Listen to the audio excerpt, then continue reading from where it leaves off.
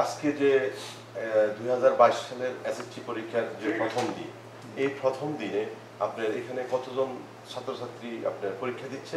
ব্যবসা শিক্ষা বিভাগ কতজন এবং আপনার বিজ্ঞান বিভাগে কতজন? আপনাদের এখানে পরীক্ষা দিয়ে এবং সার্বিক বিষয়ে আপনার আজকের পরীক্ষার যে প্রশ্নপত্র এগুলা কি পরীক্ষার্থীর অনুকূলে আছে বলে আপনি মনে করেন?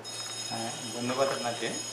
জি আমার এখানে টোটাল ছাত্রছাত্রীর সংখ্যা হলো ফোরটি এইট এর মধ্যে বিজ্ঞান বিভাগ হলো পঁয়ত্রিশ জন এবং ব্যবসা শিক্ষা শাখায় হলো তেরো জন। আমার এর মধ্যে দুইজন কেন্দ্র পরিবর্তন করে বাংলাদেশে পরীক্ষা দিচ্ছে, যেহেতু এটা বিদেশের কেন্দ্র। আর আমাদের এখানে কোনো রকম অনিয়ম হওয়ার কোনো সুযোগ নাই, যেহেতু আমাদের প্রশ্নগুলো থাকে অ্যাম্বাসিতে এবং এটা সংরক্ষিত থাকে একটা বোল্টে, যেখানে একটা চাবি আমার কাছে থাকে আর একটা চাবি দূতাবাসে থাকে। যখন সকালবেলা এই প্রশ্ন আনা হয়, তখন একজন দূতাবাসের কর্মকর্তা এবং আমার একজন শিক্ষক যান এবং গিয়ে দুজনের চাবি দিয়ে ওইটা খুলে এখানে নিয়ে আসা হয় এবং সকলের সামনে, পরীক্ষার হলে, ইনভিজিলেটরের সামনে এই প্রশ্নপত্র খোলা হয়। এবং আমার আমার পরিবেশ যথেষ্ট ভালো এবং বাচ্চারাও যথেষ্ট লেখাপড়া করেছে। ইনশাল্লাহ আমার সকল বাচ্চারাই ভালো ফলাফল করবে। প্রশ্নপত্রের ব্যাপারে কোনো সমস্যা হয় নাই এবং বাচ্চাদের অনুকূলেই আছে। হ্যাঁ একটু বাচ্চাদের একটু ক্ষতি হয়েছে, যেহেতু পরীক্ষাটা বন্ধ হয়ে গেছে, ওদের মানসিকতা একটু নষ্ট হয়েছে। কিন্তু আমি দেখলাম বাচ্চারা ভালোভাবেই পরীক্ষা দিচ্ছে।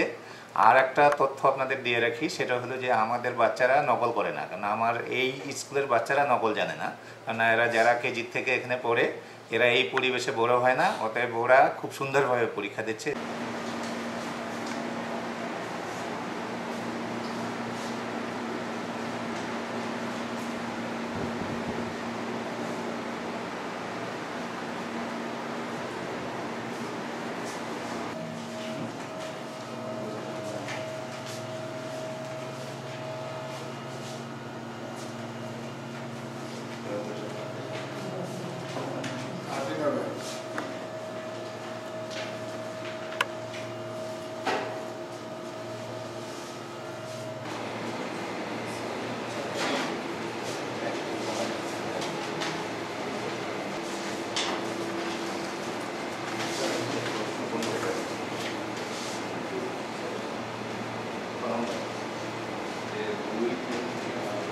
আমি এই মুহূর্তে দাঁড়িয়ে আছি রিয়াদস্ত Bangladesh international school and college রিয়াদের।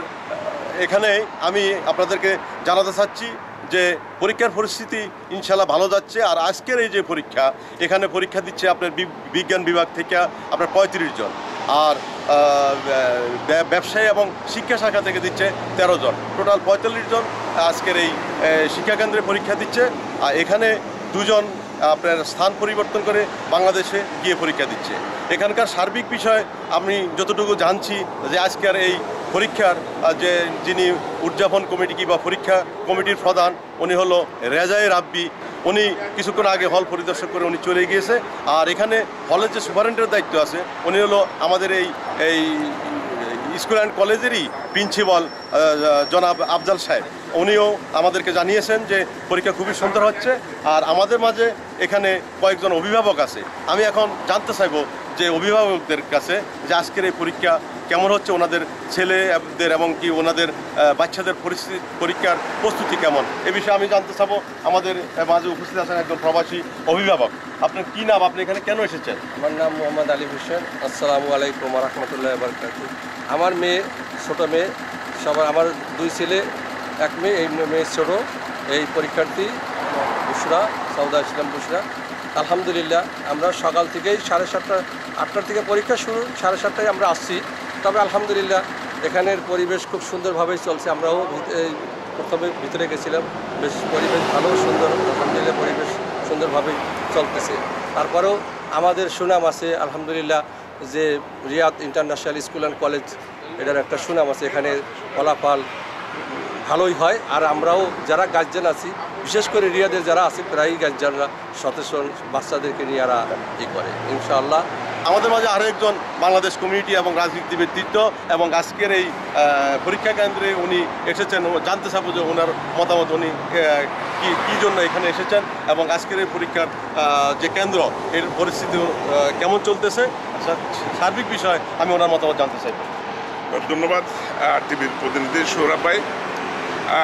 আমি একজন অভিভাবক আসলে। আমার ছেলে পরীক্ষার্থী। স্কুলের এবং পরীক্ষার পরিবেশ খুবই খুবই ভালো।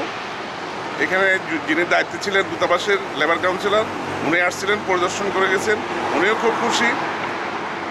সাথে স্কুলের প্রিন্সিপাল সাহেবও খুব খুশি।